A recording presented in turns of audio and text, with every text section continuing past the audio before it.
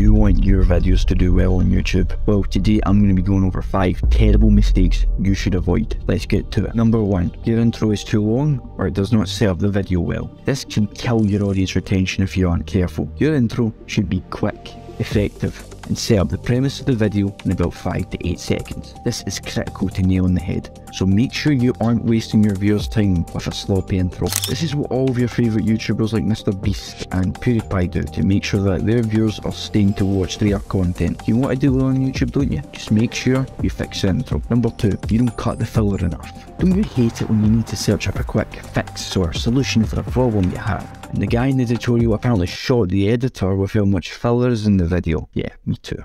In all of your videos, think about if you really need a certain section or a bit of dialogue. If you don't, cut it. If you do, keep it. I'll show an example. Listen to this intro to one of my older videos and compare it with one of my newer ones. Today we're going to check out DALL-E Mini, which is, to my knowledge at least, a AI kind of drawing. Number one, have a good, consistent pace in your videos.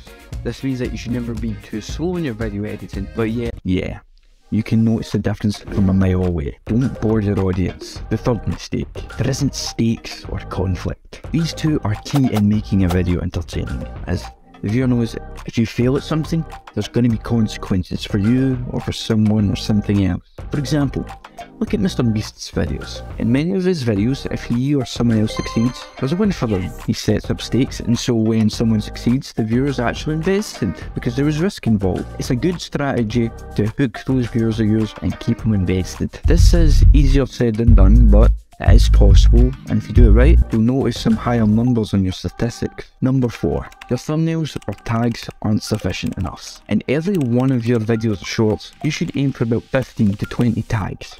A decent description size, and a thumbnail that catches the viewer's attention over others, as well as maybe an end screen as well, if you want. So make sure that your thumbnails and tags represent the video well.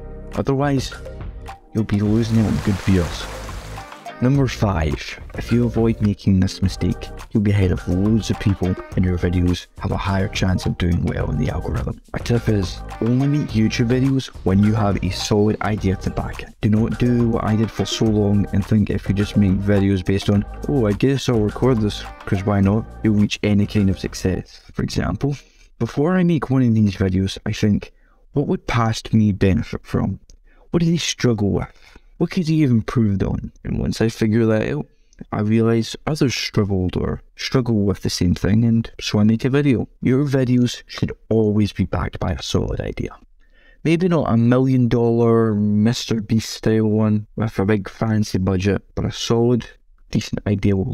And those are 5 YouTube mistakes you should be avoiding. Hope you enjoyed the video and I'll see you in the next one.